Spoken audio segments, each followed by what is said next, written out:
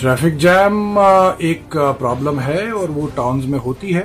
Because गाड़ियाँ बहुत बढ़ गई हैं रोड तंग हैं। तो इनका सोल्यूशन जो है वो एकदम से नहीं निकलता है। और इन इश्यूज़ को किस तरह से एड्रेस करना होगा सारे स्टेक होल्डर्स के साथ बैठ के उसमें पुलिस है उसमें म्यूनसिपैलिटी है उसमें ट्रैफ़िक के हुकाम हैं उन सबसे मिलकर बात करेंगे और उसके बाद जो भी सोल्यूशन निकालने होंगे। इनफैक्ट मैं टाउन की सिविल सोसाइटी से भी इंटरेक्ट करूँगा।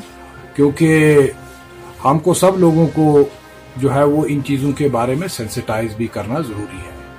और इससे क्या तकालीफ लोगों को होती है, वो लोगों को भी समझ आनी चाहिए। और उसके बाद लोग खुद इनशाला इसमें जो है वो अपना ताउन देंगे।